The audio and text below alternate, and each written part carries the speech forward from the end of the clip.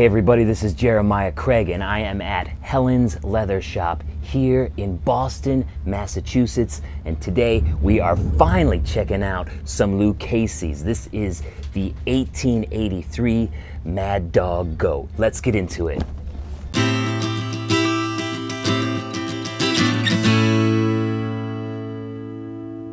All right, so I know some of you guys out there have been really wanting me to try some Lucchese's. And I gotta be honest, I've been wanting to do a video about some Lucchese's for a while now too. Finally, here at Helen's Leather Shop in Boston, I get the chance. This is an 1883 Mad Dog Goat Lucchese. It's got a number five toe, which is what Lucchese refers to this toe shape, um, kind of like a snip toe. It's got a single stitched welt here all the way around, and this is a 100% uh, full welt stitch. So there's no pegs in this at all. It's stitched all the way around.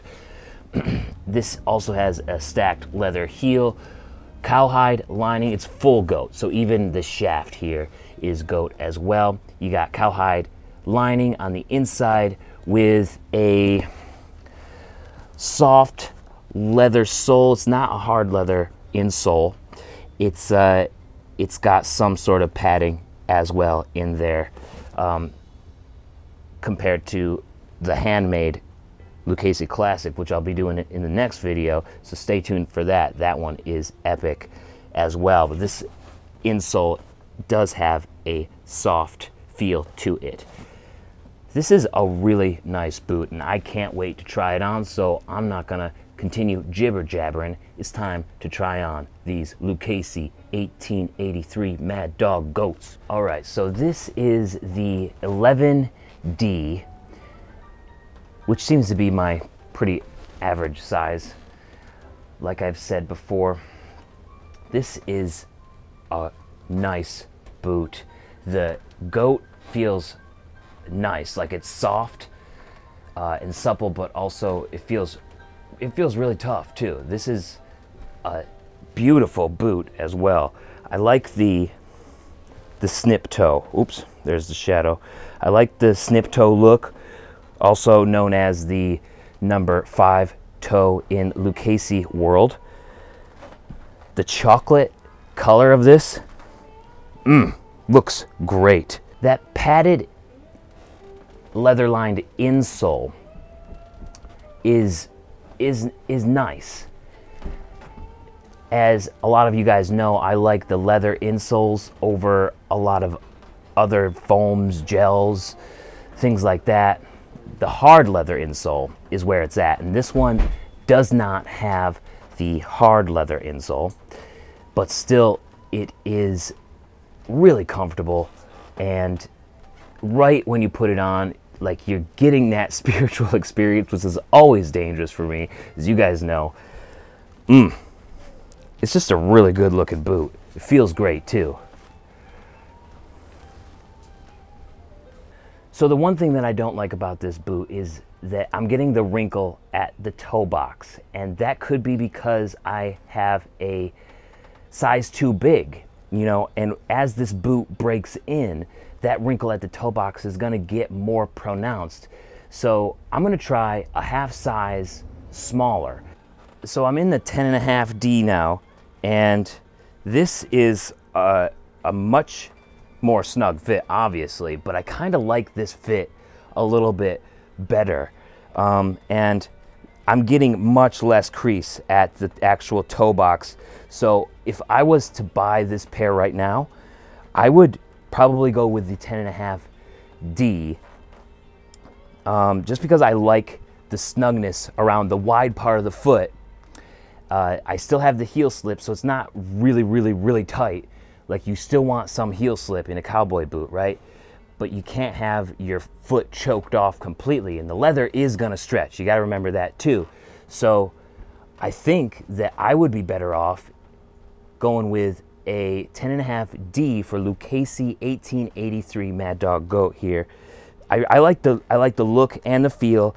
and the potential wear of the 10 and a half a lot better, a lot better.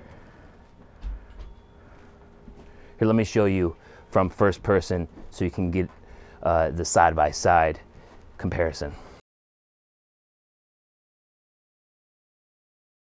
This Mad Dog Goat Lucchese is an amazing boot, especially when I got the right fit. I mean, that's something that I think you should really pay attention to when you're trying on boots, especially of a higher quality, a higher make like Lucchese is known for.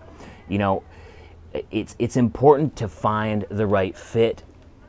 It's got to be comfortable. It's got to be snug. You know, you don't want too much of a cramping at your toes, but it has to be uh, snug at the widest part of your foot, right? And you still need a little bit of that heel slip. The thing is, is that you don't want it to be too big because as it will break in and as the boot settles, you're gonna get some weird creases here and there and the boot is just not going to look as good as it could. Playing with different sizes depending on the company is just something that you're going to need to keep in mind when looking at new boots, which is why it's so important to come to places, uh, boot stores, and try on boots like Helen's Leather Shop here. Uh, in Boston, I mean, you you want to go to these small places to try on boots. I mean, yeah, it's uh, an internet world now where you can just have boots delivered to your door, but there's something to be said to be playing around with those half sizes, just like we did today.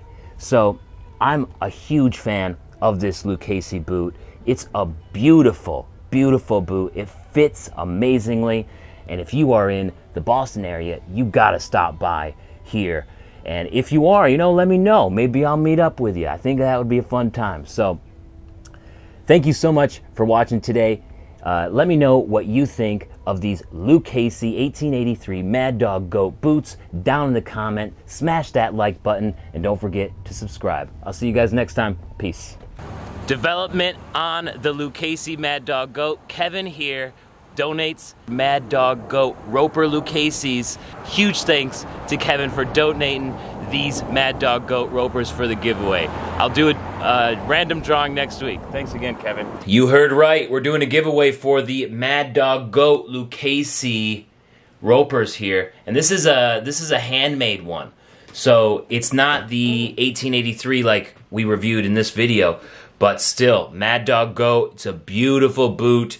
It's eight and a half D. To win these boots, make sure you're subscribed and fill out the form at the link in the description. And then next Monday on Coffee and Music number 350, I will choose a winner at random and I'll send you these Lucchese Mad Dog Goat Ropers. These are Lucchese classics. They are handmade boots. You won't want to miss out. They're 8.5D if I didn't say that already. And what I'm doing is there will be a giveaway in December. Basically, every time you enter a giveaway, you get an extra entry into that December giveaway. Now, I don't know what that December giveaway will be yet, but I know that I want to do something to reward the folks who've been with me for a while, and then next year we'll sort of start over from scratch and do the same thing. So we've had three giveaways so far, I think, where I can count this two or three.